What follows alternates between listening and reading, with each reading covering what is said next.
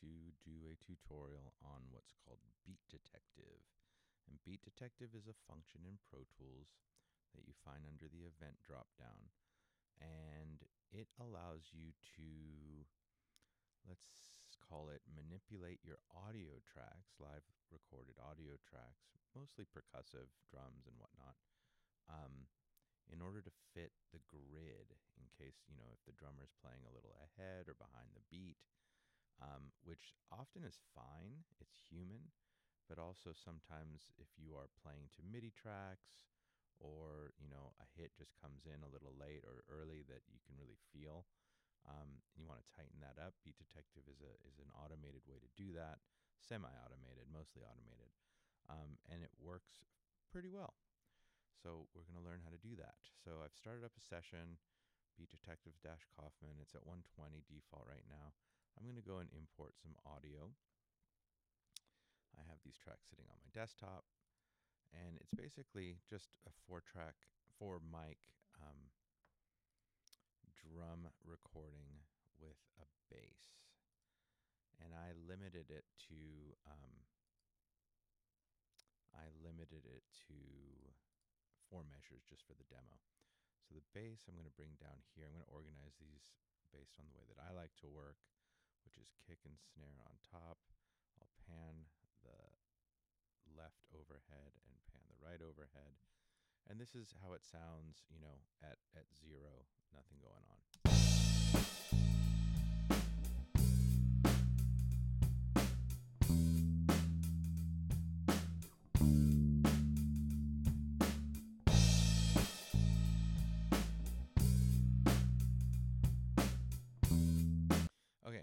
So, you know, the drum performance is good.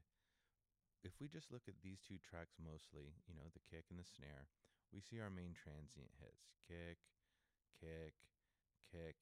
This is a kick, but it's quieter. And then we have our noise here, our, our snare drums, um, which are obviously louder on the snare mic. On the overhead mic, you have all this cymbal wash, which you don't see as much in these mics, and a lot more hi hat that you don't see in these other mics. So we are going to use these two tracks mainly, at least at, during our analysis phase, and I'll remind you of that. And then we'll end up bringing in all, all of them. All right, so most importantly, this track is not, this session, this project is not at 120 BPM. So it makes no sense uh, if we were to make a click track, which I'm going to do to use as a reference. You know. Okay, so yes, that's offbeat. It should be. Um, we could hit um, Command I or identify beat and put in our markers. This is how I do it most often. But I'm actually going to just go ahead and open up the Beat Detective window underneath Event because the other thing that you can do is to highlight your selection and say, um, tell Pro Tools what, how long it is. So it is a four measure selection. If I hit generate, it is going to just determine a tempo for that four measures of 88.7 599. Okay, so I'm going to highlight my kick and snare because I'm really, I just want these clear transients to drive the analysis that we're about to do. So I generated, I captured the selection, and now I'm going to hit analyze, and it has done the analysis. That's going to allow me to raise. Okay, let's talk about this for a second. The resolution. Do I want just measures, at which point I can only get these broken up into four? Beats, which would get down to getting me to the kick and snare, but also as I raise the sensitivity, would bring in hi hats and such. Um, or I should say, it really would stick to the quarter notes. Sub beats, we can get into trouble by having too many generate uh, generated marker points, but I'm okay with that because I know that all I want are the kick and snare. And I'll just listen to be sure. So that is a kick drum. I need to get that. Interesting. Why can't I get it?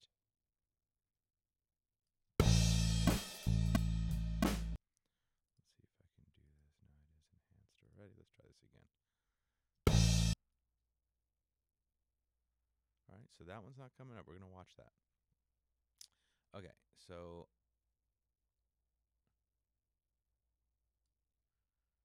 Oh, here we go. It's on quarter notes.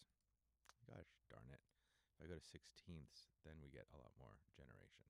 All right, so just pay attention here um, that you can set your analysis essentially to uh, follow the note value that you have in this selection area. So now I have to pay attention because I do want that that kick drum. I want this snare. This is good. Okay? You should listen to it again.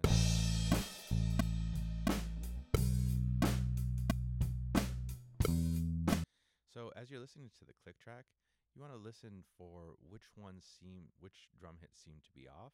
We are going to affect all of them, but it's worth noting like you know, it's it's pretty on point, but a couple the snare drum over here or the kick drum over here, the snare drum over here. If we listen to the bass, they're they're kind of off to each other, but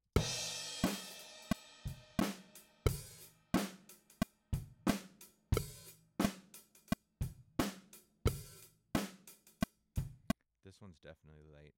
We can look at them. You know, we didn't do that yet. Um, you know, so this is beat two. So this snare drum is a little late.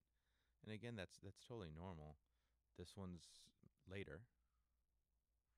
And if we go to that one that I really felt the drag on, I think it's this one. Oh, that one's early, interestingly enough. Made me feel really late. Anyways, back to the marker generation. So we have our analysis, we've raised the sensitivity. I'm happy with this. So now I'm going to bring in the overheads because we do want to do this to all of our drum tracks or else there'd be all kinds of weird stuff happening if we move the kick and snare phase coherence issues and just timing issues. So we've highlighted all of them. These markers represent where Pro Tools or Beat Detective is going to cut um, these regions, these uh, clips.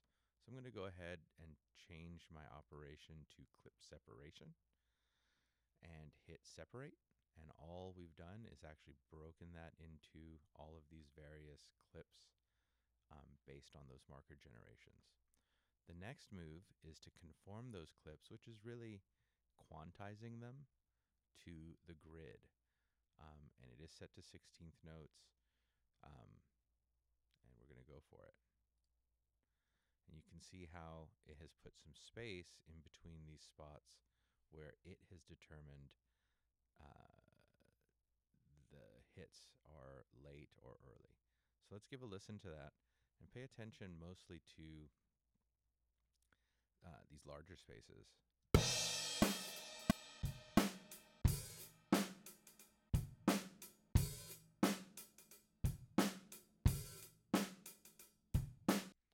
All right, so you know, if we were listening to the click, you might say, "Oh, eh, it's it's closer on beat," but I really wanted you to hear how um, there's some choppiness in here, as there should be, with essentially major gaps in the track. Um, at this point, we go to edit smoothing as an operation, and you see that all these functions change. You have a couple choices. Fill gaps. What what's cool about what Beat Detective does is it will go to these gaps and say, hey, we need to fill these things. What are we going to use? And if you just put in, you know, pure silence, you're still going to have um, a jittery playback because there are these gaps there. But what Pro uh, what it does is it kind of uses, you know, similar to taking the trim tool and opening that back up to where there was just that that the noise in between those hits, um, whether it's the the noise in between the hits, the resonance from a previous transient attack, or just you know the wash of the cymbal that exists over here. Um, filling and crossfades does that filling process, and then it puts, at least by default, you can change this, of course, a crossfade in order to limit any potential pops or clicks that might come up because of this editing. So we're going to go ahead and hit smooth you can see that The spaces have been filled. I'm going to go ahead and highlight this as well so you can see what the crossfade looks like and it has put a crossfade on each track that was highlighted. And let's listen to this now. Let's put in the click. Well, actually, let's listen to it without, and I'll put the click in when it comes back around to see how it tightened it up. Listen for any jittery. Sounds pretty good so far.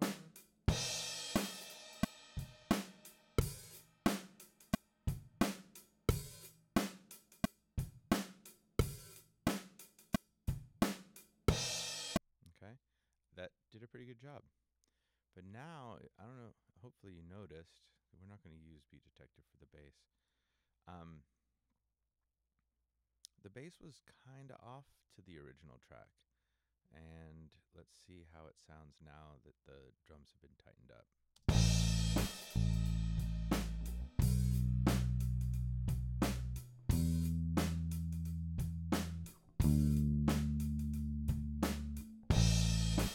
So interestingly enough, the bass was kind of on.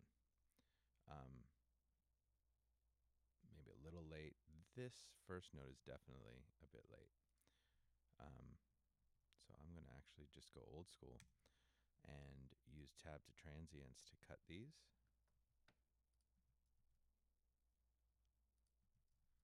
And then let me see if I can sneak in a little lesson here without making a mistake. Probably not. Um, I'm highlighting these. I'm going to change. I'm going to change a value here um, from samples to ticks. And what, what that means is when I place this into ticks, it's going to treat these regions as though they're MIDI um, and place them accordingly. So hopefully, if I come up to event operations and quantize, because um, okay, I already lied. There we go. Change. I want to I want to quantize the audio clips, and they don't. Yeah, they do need to be 16ths for this one. Uh, I'm just gonna hit apply, and it has moved these. You can see this uh, this one's back to the you know hitting on the one on the uh, whatever that is uh, the and of two on three on downbeat of measure two downbeat of measure three downbeat of measure four. Let's hear how that sounds. I'll solo it and see if we need to do something here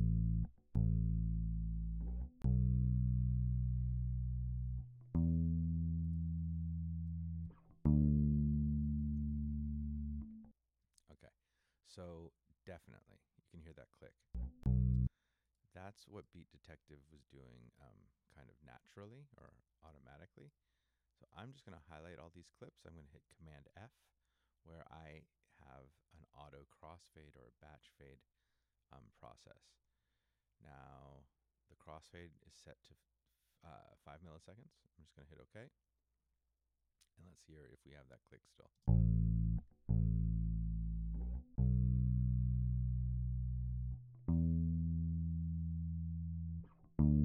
So the click's gone. Um, it sounds pretty natural. The die, the dying out here. I can't say that I need to do anything else. I'll go ahead and consolidate it so it's pretty. Um, in fact, I'm going to consolidate to the measure point. I'm going to do that with all this stuff. Um, just so it's all you know, this is usually done with live tracks, so you wouldn't have, oh, I need to think about the ability to duplicate these things. Um, and it becomes what it is.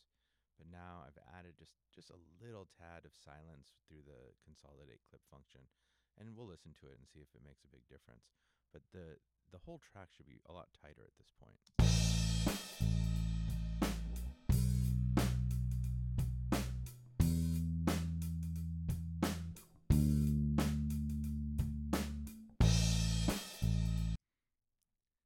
We could argue if that little bit added just a little drag at the end there. Um, but again, this is not in context. This isn't supposed to be used as a loop. If um, I wanted to, I would actually go back and undo that. If I wanted to use this as a loop, I would consolidate what I have. I don't really need to consolidate it. Then I would bounce it and I would bring it back in through the workspace editor where it would be uh, known as a four measure clip and it would stretch out, you know, kind of through TCE automatically. And then these hits wouldn't, you know, it'd be totally on point. So I'm just going to leave it at that. Beat Detective using to kind of tighten up drum tracks as needed.